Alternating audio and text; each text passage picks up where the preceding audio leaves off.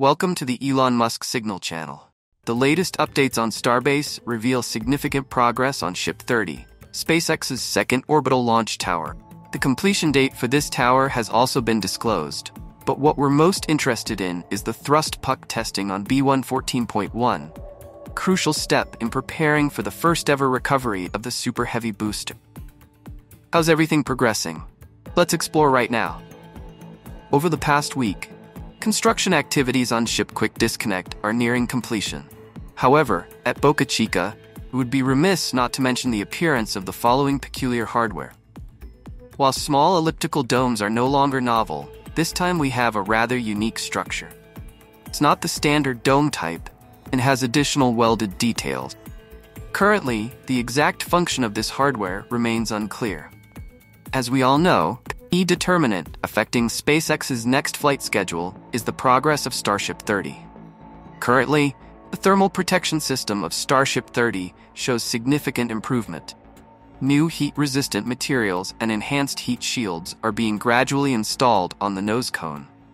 The upgrade progress of the thermal protection system on Starship 30 is proceeding at an astonishing pace. SpaceX is accelerating the removal of the old heat shield layers focusing entirely on replacement. The nose cone area is increasingly covered with new heat resistant materials and improved heat shield. Compared to images from last week, the dense presence of heat shields on the spacecraft's body indicates remarkable progress. This area is nearly entirely enveloped by the new material. Based on the current progress, SpaceX is likely to complete the thermal protection system replacement in the coming weeks preparing Starship 30 for its next flight. Of course, achieving full operational readiness for this system will still require many more steps. However, based on past achievements, we can trust SpaceX's ability to complete this swiftly. Apart from two test panels, SpaceX engineers have yet to tackle the flaps area, critical part of the thermal management system. Typically, these specialized areas pose the greatest challenges requiring curved or custom manufactured heat shield panels. However, SpaceX beginning work on the nose cone section, which requires unique vaulted heat shields, is a positive sign. In just a few hours, the front section has been covered almost halfway. At the site of the second launch tower, construction activities continue around the clock, 24 7. Even in the middle of the night, work does not cease. The Terex CC8800D1 crane is being perfected to serve the assembly of the second launch tower. With the impressive progress of the crane and the near completion of the tower base, SpaceX seems poised to start this process soon. Currently, SpaceX is assembling Configuration 1, designed for lifting the first six segments of the tower, also known as tower sections. These initial six segments are expected to be raised by July 27. Subsequently, over the following four weeks, SpaceX will transition to Configuration 2, while Configuration 1 remains at a height of 140 meters above ground level. Configuration 2 will be even higher, reaching 172 meters above ground level. The second configuration of the crane will operate from July 27th to August 15th to complete the remaining part of the launch tower. This is a projected timeline and subject to change, but it appears SpaceX aims to complete the second launch tower before August 15th. Additionally, installation of the water pipe and cable systems on the tower's body is also underway. This piping system has the capability to supply necessary fluids to Starship via Ship Quick Disconnect. Moreover, the cable system includes data and power lines for the launch tower, and larger fluid conduits are also being finalized. The second launch tower is anticipated to feature numerous improvements and additions compared to the first tower. Alongside new upgrades, some elements remain unchanged. For example, staircases have already been installed midway up the tower section in the video. Other images show workers handling new tower segments, including applying corrosion resistant paint. This coating is essential to protect the segments from the salty air of the Gulf of Mexico. This type of paint is used across most projects at Boca Chica to prevent rust. A notable highlight is the chopstick system rocket catch test. The small test basin was raised onto the mobile launch platform last week, sparking speculation that it would serve the chopsticks test. Even before B114.1 joined, we observed the chopstick system beginning to move and undergo testing. Prototype B1 14.1 does not have a complete booster quick disconnect at the rear like current operational boosters.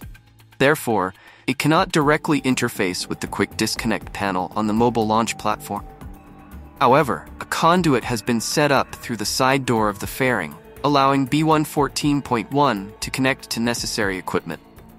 Despite being shorter than actual boosters, prototype B1 14.1 still possesses structural characteristics similar to the rocket body that the chopsticks system will grasp on a fully operational rocket.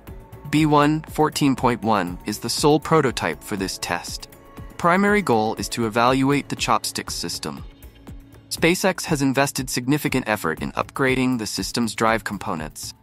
From observation images, it appears the right side chopstick strut has undergone more upgrades, with a stronger drive mechanism and thicker padding to prepare for rocket catching. Conversely, the left side strut seems to be in the final stages of completion. SpaceX may intentionally be testing upgrades on one strut before applying them to the remaining struts. Upon completing preparations, the formal test occurred on the 25th. The chopstick system moved into position and prepared to test alongside B1 14.1 before attempting to catch the prototype rocket. SpaceX may be adjusting the system to create a ground catch for the booster. In other words, chopsticks will close around the rocket upon landing, ready to support it with holding clamps. This swift movement seems to be SpaceX's adjustment target. The dry run, above the rocket prototype, appears to be the first step in minimizing risks before actually catching the booster. Following the dry runs, SpaceX moved chopsticks closer to the rocket prototype, seemingly satisfied with the results. The precise positioning of chopsticks shows SpaceX has identified the expected contact points between the strut and the rocket. This is why the test was conducted in this specific area. SpaceX continues to test chopsticks and B1 14.1 with higher risks, evident in the road closures. The test includes simulated light contacts and actual impact stops. Strong impacts cause the test prototype to shake, indicating SpaceX is identifying stopping points and assessing collision risk. Total of seven contacts were executed. Although the tests were quite intriguing, the journey of prototype B1 14.1 had to conclude at the end of last Thursday.